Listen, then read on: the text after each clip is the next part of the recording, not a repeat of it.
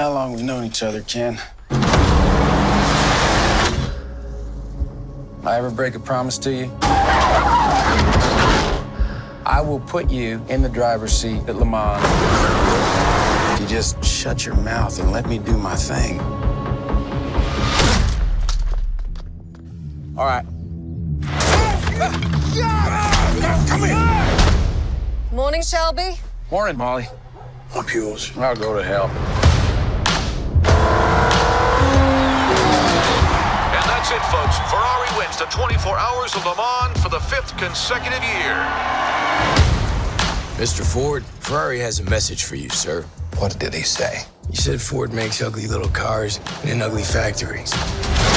And, uh, he called you fat, sir. We're gonna bury Ferrari at Le Mans.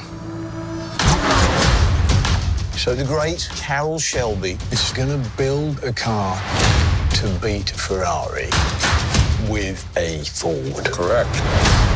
And how long did you tell them you needed? Two or three hundred years? 90 days.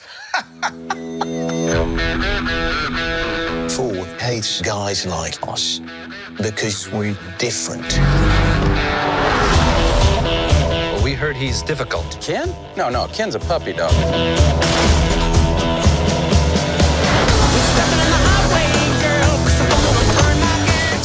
It's awful. There's a problem. The computer will find it.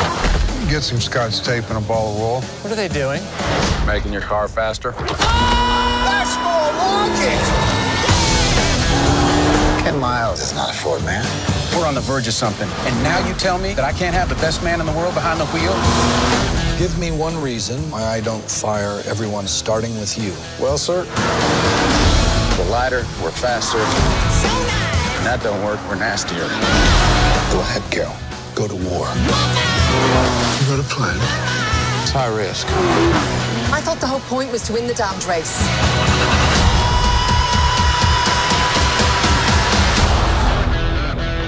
If this were a beauty pageant, we just lost.